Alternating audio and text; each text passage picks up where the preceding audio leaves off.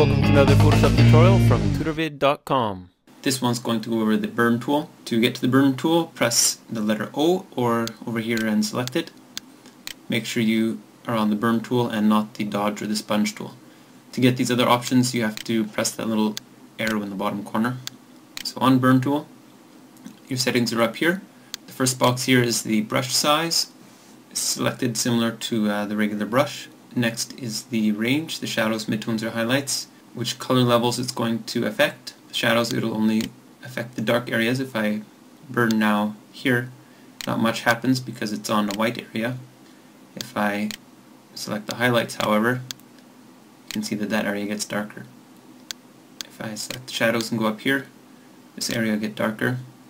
If I select highlights and burn up here, then nothing happens. Exposure is how fast it affects the image if I set it at low exposure, which is what you generally want to do to make the edits smooth. And uh, for shadows, it makes the burning a lot more smooth.